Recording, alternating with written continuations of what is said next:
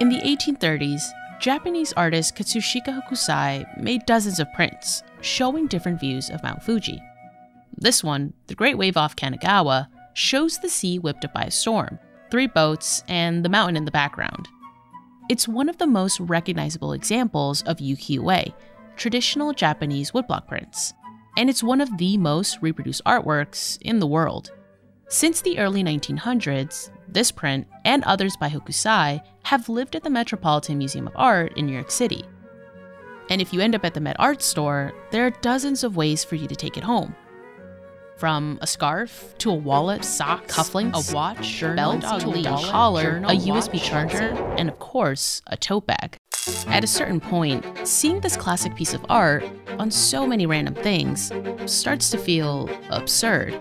But all this merch is meticulously planned out, so that what you see in the gift shop might change the way you think about art.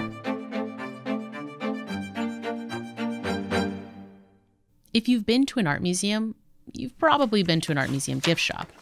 They're usually the last stop on any tour, the final exhibit before you head home.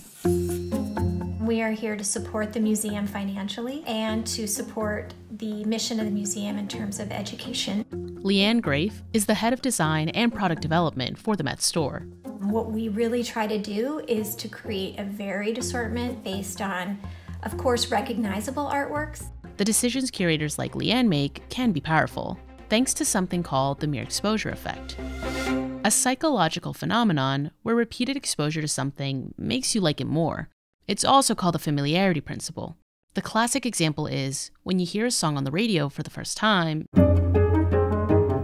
and hate it, but after a couple more listens, start to like it in a museum gift shop, seeing the same piece of art on a scarf or a postcard or a watch reinforces the idea that that particular piece of art is important.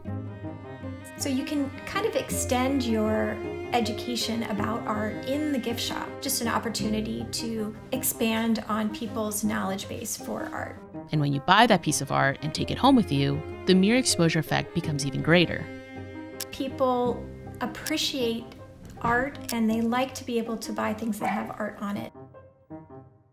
At its core, a museum gift shop is still a store, which means some decisions revolve around money.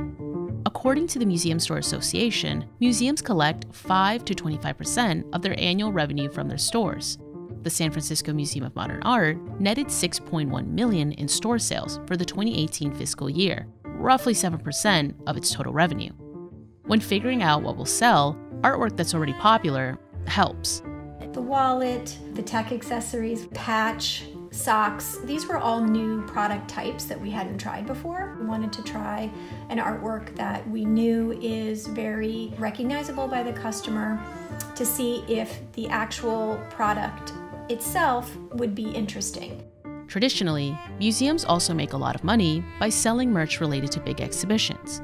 Like, if a museum had a temporary installation of Van Gogh paintings, you'd usually see the gift shop flooded with Van Gogh art in many shapes and forms. But that model is changing. We really don't want to be dependent on those big blockbuster shows. It puts us in a very challenging position of being reliant on whether people come to see it or want to see it, or whether or not there's product that is appropriate to develop for that particular show. Christine Dubinin is the director of retail at the Philadelphia Museum of Art. She says that a better tactic might be relying on museum goers themselves to drive stocking decisions. Getting out, you know, in the museum while people are walking around, really trying to understand what they're thinking about when they finally do make it into the store is something that we always try to keep top of mind. And because of the mere exposure effect, seeing a piece of art again before you leave the museum can make you feel more connected to it you know, you're walking around and then suddenly you connect with a painting for whatever reason. Either the color draws you in, or you know the artist, or it's a famous work of art, and suddenly here it is. It's like a celebrity sighting, you know, to kind of see that. And you want to kind of, you know, take a piece of that home with you.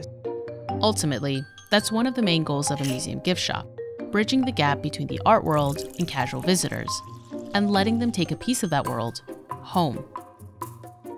Of course, not everything in an art museum is specifically designed to reinforce a particular exhibit or change the way we think about art. You'll also see some weird stuff in there, like these miniature chairs at the Virginia Museum of Fine Arts that go for more than $300 each.